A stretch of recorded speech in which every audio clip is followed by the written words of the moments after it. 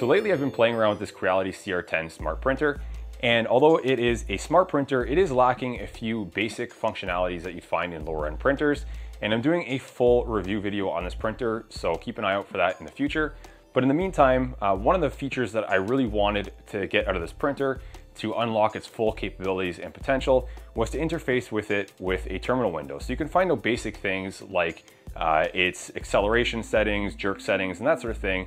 And normally you would do that through a terminal interface. And with this printer, there's a USB port on the side, but that USB port is strictly dedicated to Creality compatible web cameras. So that's just to monitor your prints through the Creality Cloud app. If you want to use something like an external host uh, like uh, Octopi or Repetier host, something of that nature, plugging that uh, USB port, plugging USB into that USB port rather on the side is going to do nothing because it's not actually directly connected to the main board. And there's a Creality Wi-Fi box that's built into this machine and that USB port goes to the Wi-Fi box, not the main board. So we're gonna figure out a way today how to interface with the main board and it's pretty easy. I'll walk you guys through that. And that's gonna allow you, like I said, to open up new possibilities for print hosts. So we're gonna be using Octopi and gonna show you guys how to set that up, a very basic setup, uh, such that you can use something like Prusa Slicer along with Octopi and you can get yourself the same functionality from those slicing softwares and print host softwares uh, that you would get from the Creality Cloud software. So you're not locked into that anymore um, just because I find that the Creality Cloud software also is a little bit limiting and you have a lot more potential and a lot more possibilities with the uh, Octopi software and Prusa Slicer. So I'm gonna show you guys how to do that and let's get started. We can start by simply removing the two M3 screws holding in the USB port right on the side of the printer. And these are very easily accessible. Just unscrew them and then you can actually just push the USB port through using your finger or a screwdriver and do that carefully. We're not to reuse it, but you don't want to break it. Next, we can carefully flip the printer onto its side to expose the underside where you're to find a whole bunch more of those M3 screws. So you're to want to unscrew those, keeping track of which ones are short and which ones are long. There are three short ones, so maybe mark on the panel where they go as to not mix them up later. Obviously don't lose the hardware or you won't be able to get the panel back on later. Once the panel's off, don't rip it right off because there is a connector for the fan that you're going to want to carefully remove from the main board and then set everything aside. With the bottom of the printer now open, we can see what we're dealing with here and the Wi-Fi board is in the top left hand corner of the screen.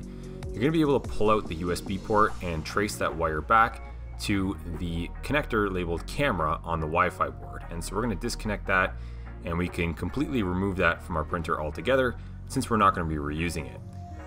Under the Wi-Fi board, there's another board and it's got a connector on the right hand side and that's labeled MCU and that's going to the main board. And that one there, you're gonna unplug very carefully. There might be glue on these connectors too, by the way, so you might wanna just carefully pick off the little bit of hot glue. And you're gonna replug that connector in to the connector called PC. And you'll see right beside that connector, there's also a very small, I believe it's a micro USB port. And I'll try and get a better shot of that. So lifting up the cables, you'll see that little micro USB port right there. So you're gonna wanna get a cable that is compatible with that style of micro USB and you're gonna plug it directly into this board here and once you get that plugged in, now you can route your USB cable through the hole in the side of the frame that would have been used for the camera USB module that we just removed. And if you're having trouble getting it through that opening, just also keep in mind that you can go the other way through the frame and put the smaller side connector in first in order to feed it through that hole. Now, if you don't want to go through the side, you can go through the front of the printer. There's a little cutout in the sheet metal there that you could use for the USB cable.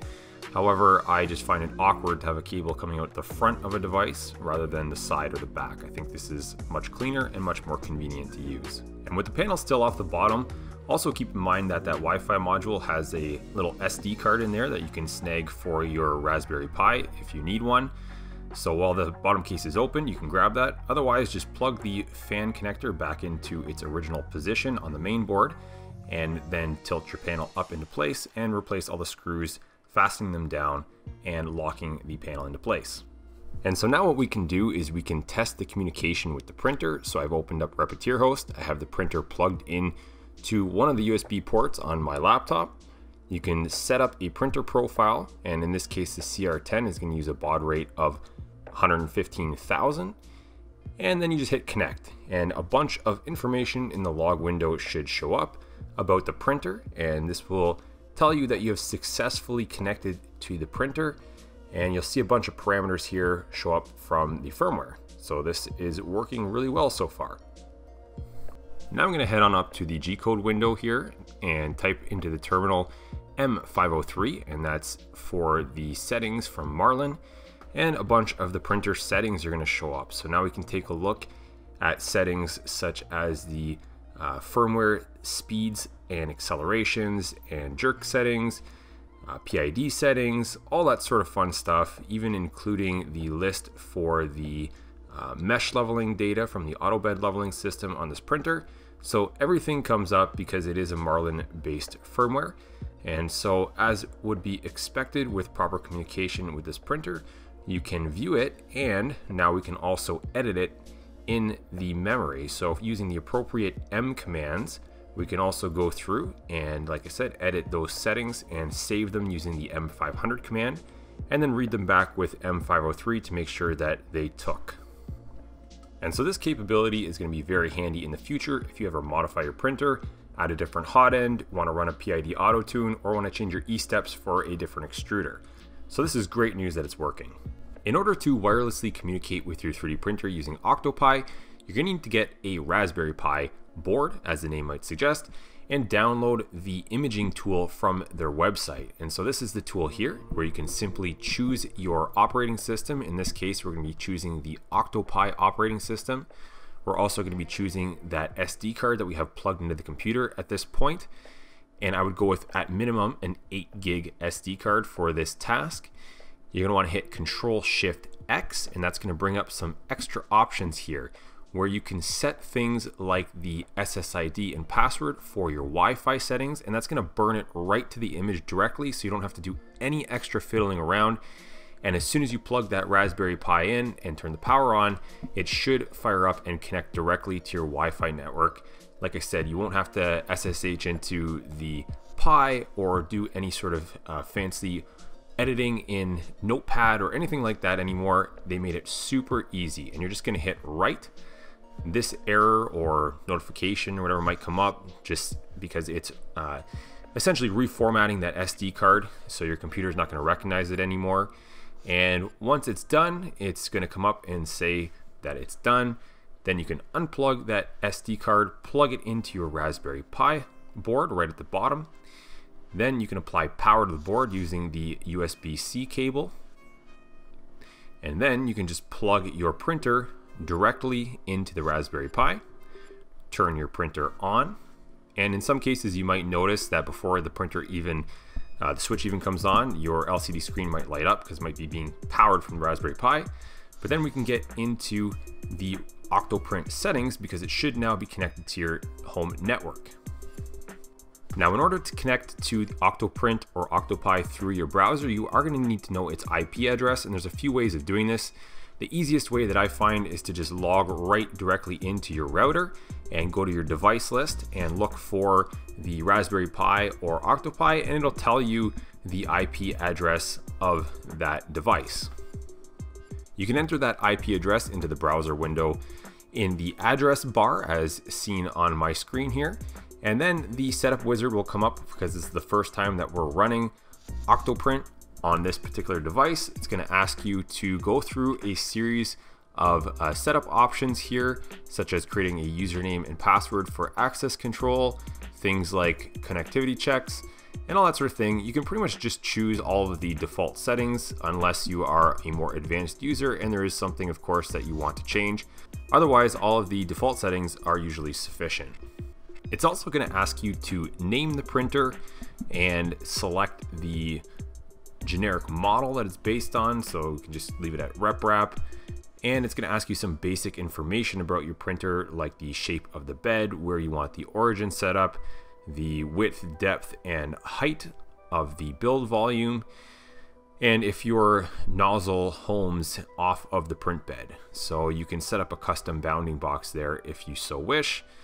In the axis tab, you can set up some of the machine limits uh, that you can use here in Octoprint. And the last thing that you can set up is the hot end and extruders. So the nozzle diameter and the number of extruders. So in this case, for my CR10 Smart, it's just a 0.4 nozzle and one uh, extruder. And we can finish that up and you can apply any updates if your system detects that your Octoprint needs to be updated. So I'm gonna go ahead and apply this update. It'll automatically reboot after that and we'll come back into the uh, interface here for Octoprint and we can connect to our printer. When connecting to the printer, if you know the serial baud rate, you can select it. If not, you can leave it on auto. Just hit connect and that should be it. As long as everything is set up correctly, you should now be successfully connected to your printer.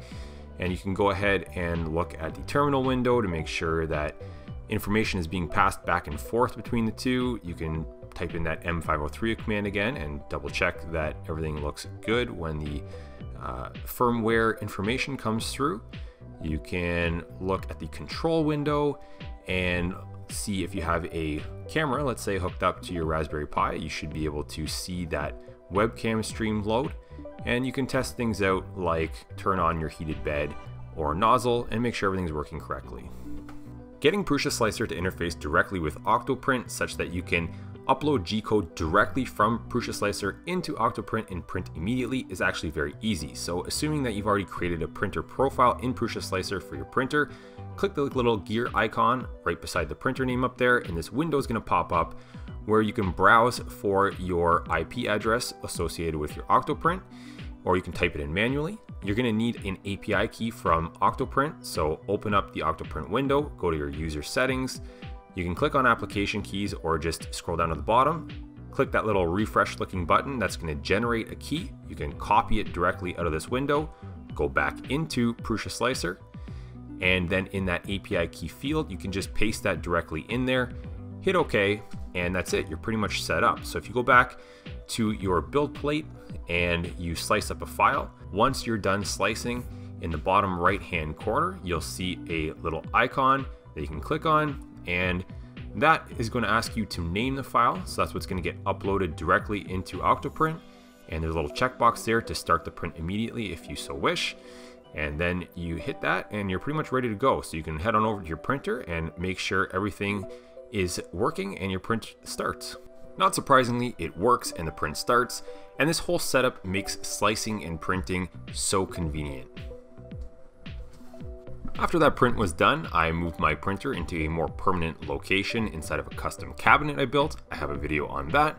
I'll put that link in the top right hand corner of the screen and I also moved the Raspberry Pi into this nice looking case that I also made specifically for these Octoprint applications and I'll put that link to that video in the top right hand corner of the screen as well if you guys are interested in making one of those. So I hope you guys found this video useful and now that you're no longer tethered to the Creality Cloud service uh, network, you can unleash the full potential of your printer as well as your creativity on this platform. So keep an eye out for my future full review of this printer that's coming up soon. Be sure to like and subscribe to this video and if you have any questions, please leave them in the comment section down below. Thanks guys.